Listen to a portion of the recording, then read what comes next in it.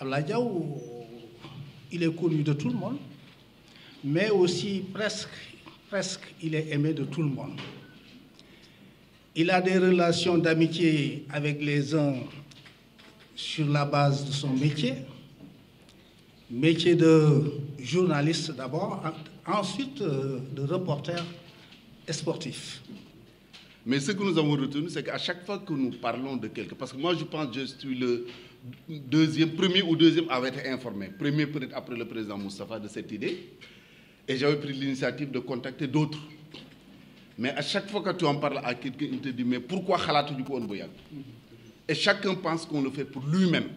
Cela veut dire que c'est un choix qui est, un choix pardon, qui est euh, quand même judicieux.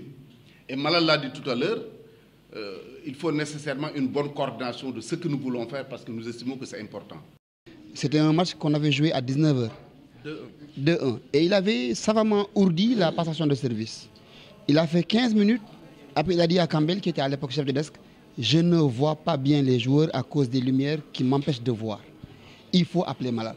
Donc moi, j'étais parti euh, dans les tribunes pour essayer de, de faire ce que je sais faire, c'est-à-dire m'amuser quand je ne travaille pas.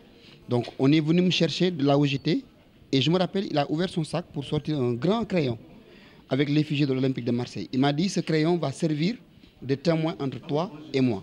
Au jour d'aujourd'hui, je te donne ce, crayon-là. Il s'est levé de là où il était, il m'a donné son casque et son micro. Il m'a dit continue le match avec Yves et fais ce que tu as toujours fait à Saint-Louis. Ne te gêne pas, je suis à tes côtés. Donc j'ai fait 15-20 minutes avec la retenue. À la mi-temps, il m'a dit lâche-toi. Ce que tu fais là, c'est bien, mais tu peux faire plus que ça. Et en seconde période, j'ai commencé à travailler comme je le fais, avec beaucoup d'énergie. Et après, les gens ont découvert ce talent.